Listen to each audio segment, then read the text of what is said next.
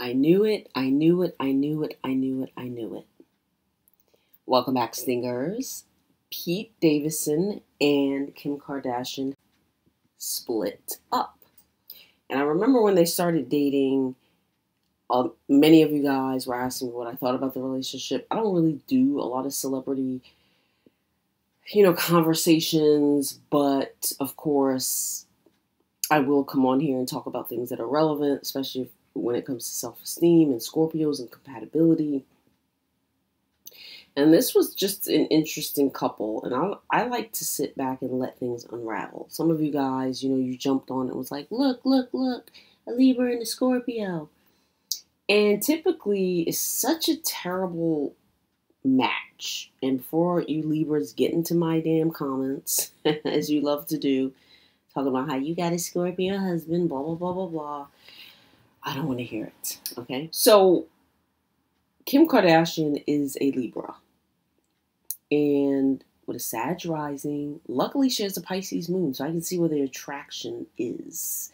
Pete Davidson is a strong Scorpio. He's like a Sun, a Mercury, a Venus, a Pluto. Like, he's a heavy guy. He's a very deep individual. And what you guys see, I believe he has a Capricorn moon too. Serious. What you guys see with his comedy and things like that, you know, it's a uh, it's a culmination of knowing how to play for the cameras. Um, you know, I've been on TV. I've been in several national commercials. I've been on a TV series. I understand what to do when the cameras come on. I get it. Okay. It's not something that's natural, something you learn. It's training. When you're in the public eye, you have a lot of training and, be, and it becomes automatic. You know, um, a lot of Scorpios that you see in the public, you know, you can't really believe that persona. You know, you just can't believe it. I don't believe it. I already know behind the scenes they're different. And so this is a guy who's heavy. Like, you know, there's no doubt in my mind that behind the scenes he's like fluffy and cracking jokes all day. That's bullshit. I don't think so. And, you know, I talk about this in my book, actually all of my books, especially my new book, I'm Not Crazy, which I'll give you a release date soon. I talk about, you know, these facades we wear, these masks, in order to fit in, in order to assimilate, in order to have these fake ass friends and these bullshit relationships. And I know because I've done them half my life, I've done it.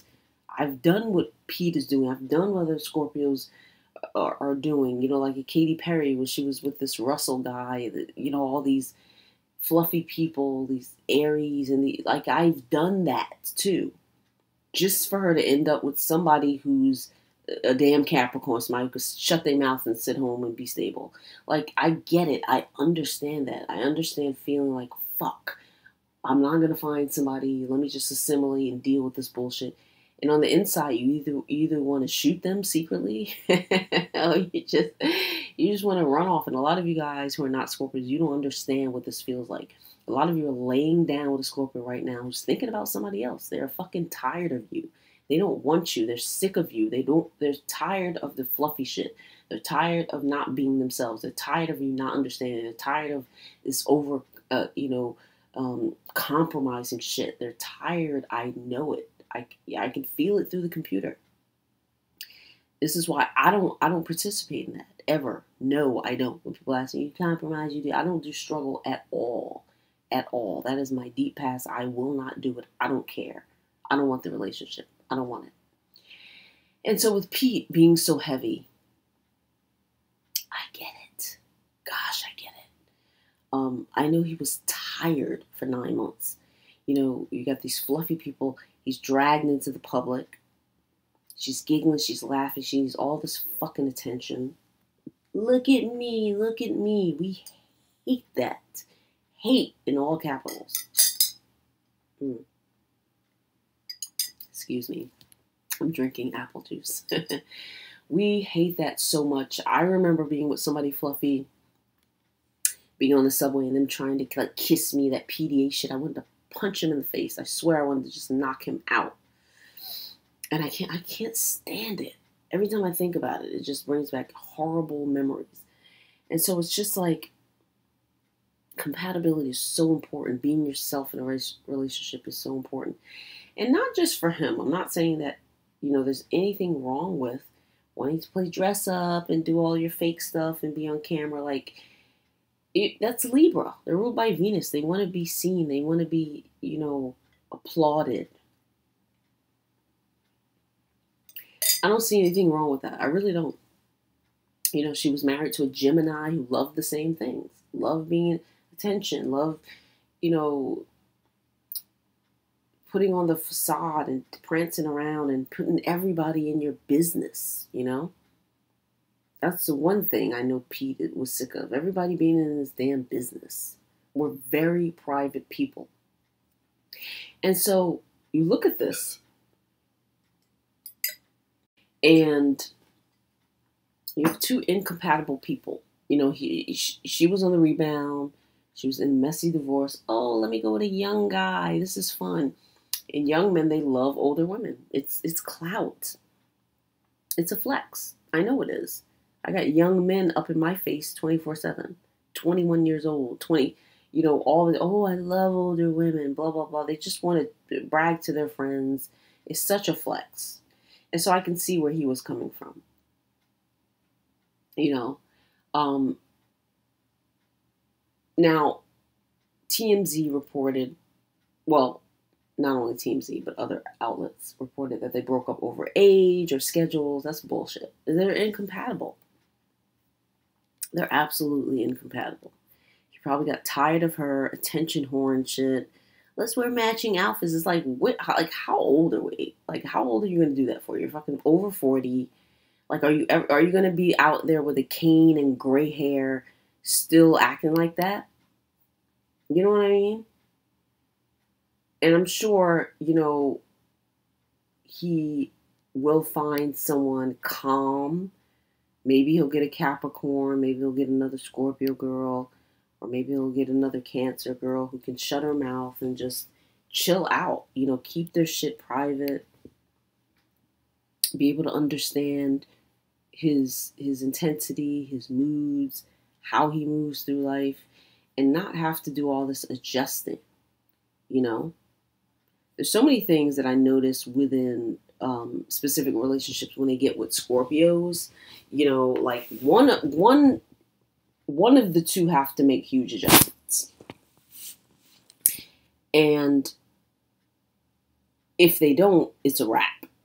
And he did the best he could. You know, she dragged him out in public, attention horn, PDA and shit. I know he fucking hates that.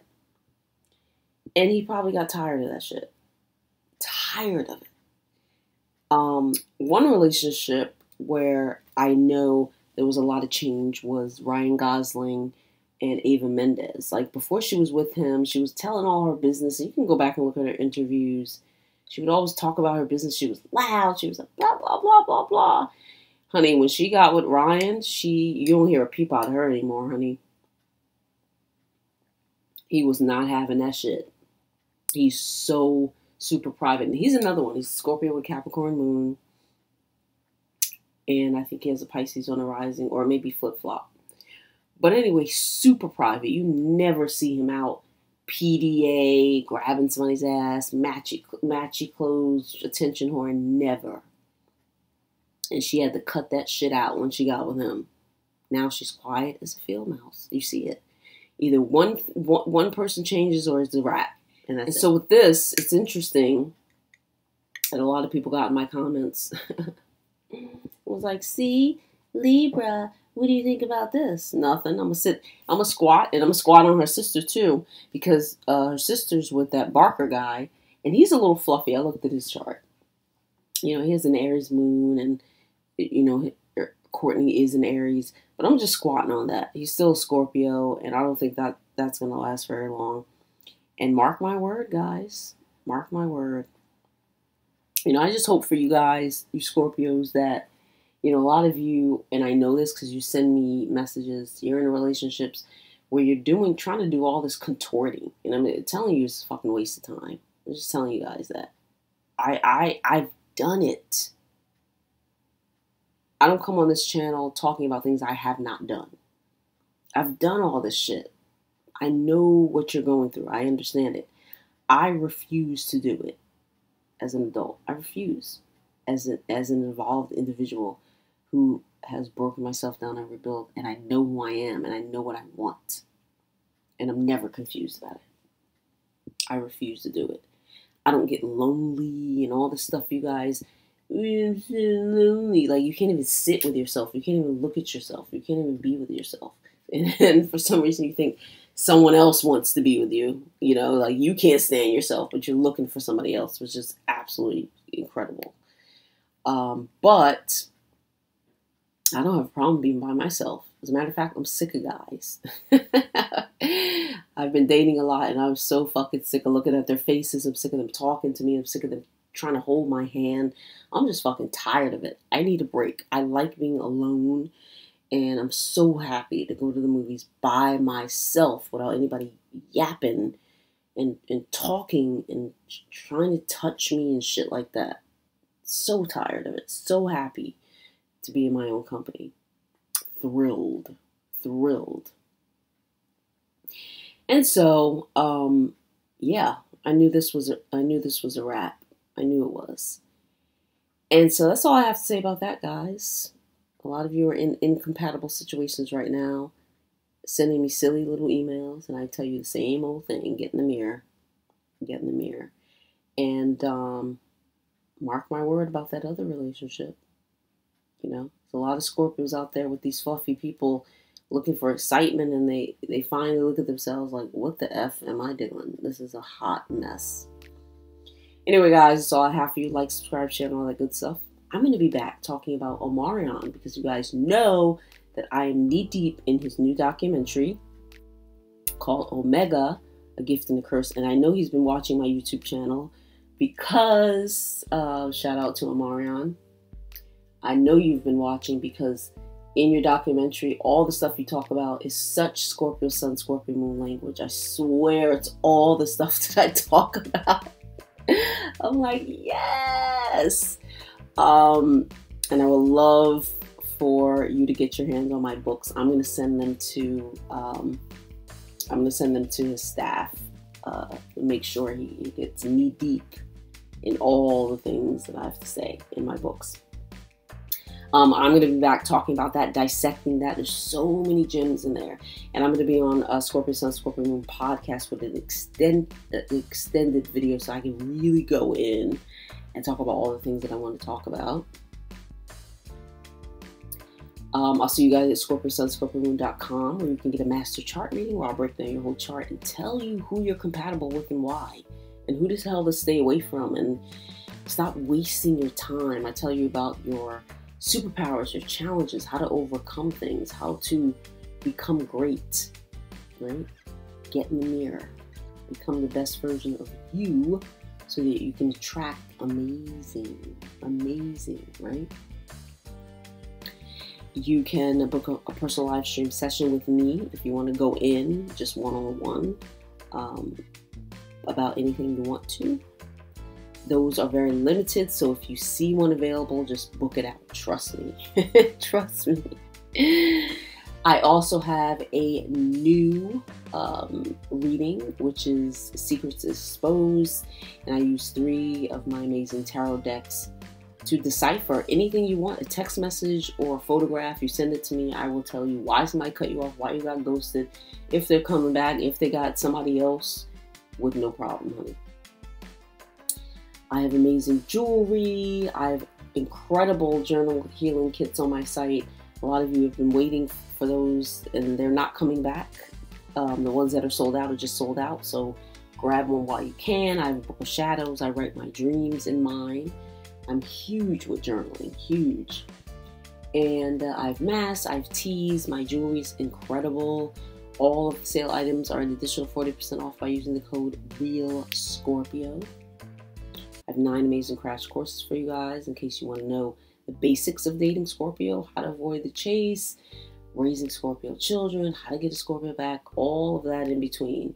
And I even have an amazing affirmations MP3 for you to listen to at night because it's very important to um, breaking down your subconscious and rebuilding with new language. Okay, with new language. What else is going on? I have some uh, exclusive videos on the site.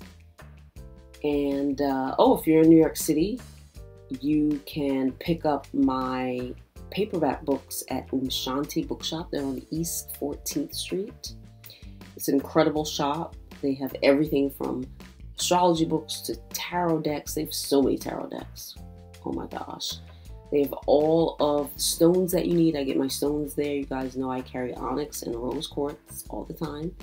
You can get um, all your sage, Palo Santo, amazing jewelry. You can get tarot card readings there. Also, if you're in Midtown, my books are at uh, Quest Bookshop on East 53rd Street, another amazing shop. And um, I'm going to give you a release date soon for my newest book, I'm Not Crazy. I'm so excited to get this into your hands. So many gems. I'm just going in about gaslighting, about, you know, finding your real voice, taking off the mask. And uh, what else is going on? I'm on Instagram, I'm on Facebook, and that's all I have. Mwah!